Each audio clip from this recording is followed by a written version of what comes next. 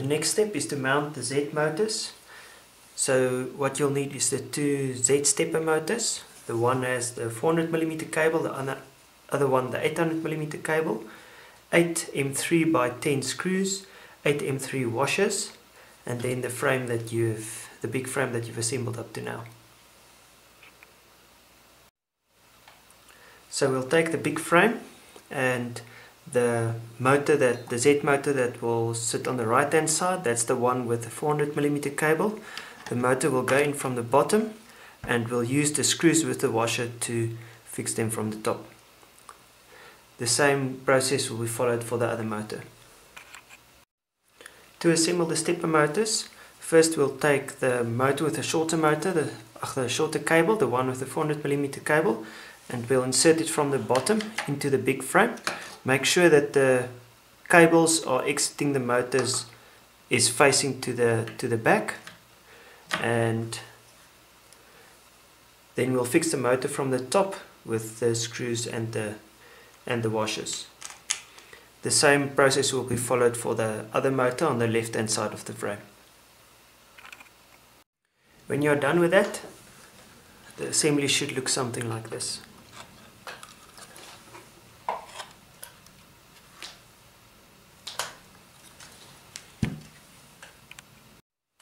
The next step is to mount the Y motor.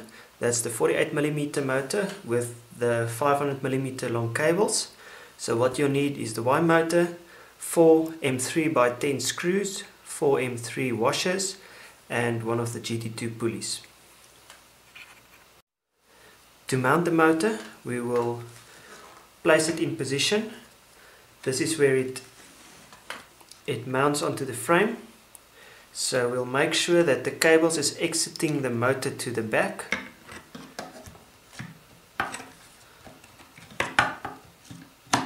We'll place the motor in place, in position, and we'll secure the motor from this side with the four screws with the, with the washers.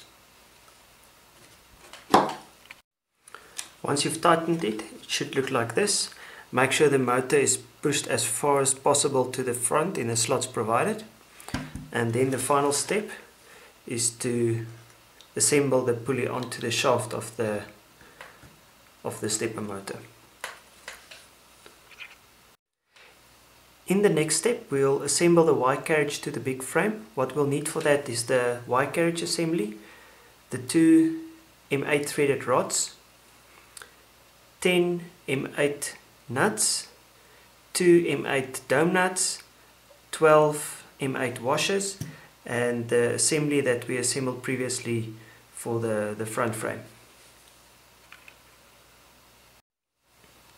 The first thing that we'll do is we'll take the two threaded rods, we'll put on a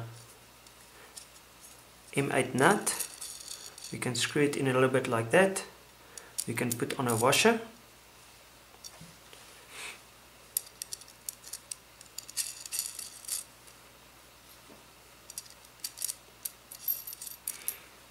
Then we'll insert it through the holes provided. On the other side we'll put a washer and we'll put the dome nut. The dome nut we can screw in until it bottoms out and then we can screw the other nut back and then we can just torque them with the spanner. When we're done with that the assembly looks like this. Now the next step is to screw on two M8 nuts, one onto each rod, about up to halfway of the rod. Now the assembly looks like this and we'll put a washer onto each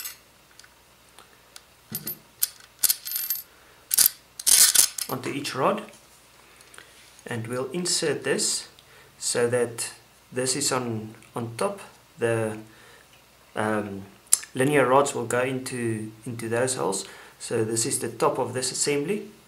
And it will go through the holes provided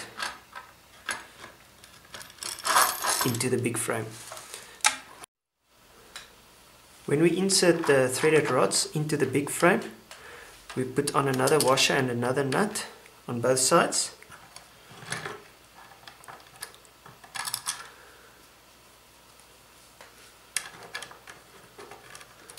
Once we've screwed it in a little bit, we can add on both sides again another nut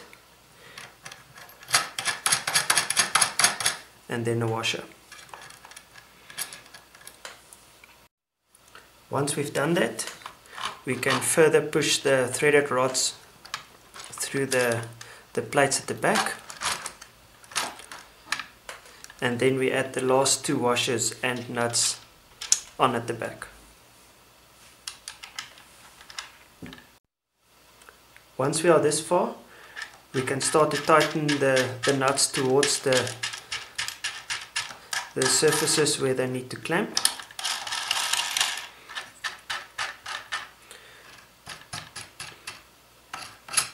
we can only put them more or less in place. It's not required at this stage to to torque them because we first need to assemble the Y carriage. Now we will take the Y carriage and insert it so that the the wires and the belt goes to the back we'll insert the linear rods into the holes provided in the the flanges at the front and the back. Once we've inserted the linear rods, we'll push the front and the back towards it, each other and then we'll start to, to tighten up all the M8 nuts. Make sure that you don't overstress the, the frame when you, when you tighten these nuts. Once you are done with that and the frame is nice and stable, we can route the Y belt. So we'll take the the belt and we'll route it around the motor up here around the bearing at the top and bring it back and secure it with, with a cable tie there. Once you've tied the, the Y belt to the other side as well and secure it with a cable tie, you can cut off the the end of the cable tie and now we can undo the motors of the y-axis a little bit move the push the the motor down and tighten them again so that there's enough tension in the belt. When we are done with that the assembly should look like this with the motor nice and tight. There's some tension on the belt. So what we'll do now is we'll position the, the pulley on the motor shaft that the belt is nice and aligned with the rest of the, the components and then we'll tighten the grub screws on the, on the shaft. Once you've done that, you can just check that your y-axis can move freely from the back to the front. And as you do that, the motor should should turn with it.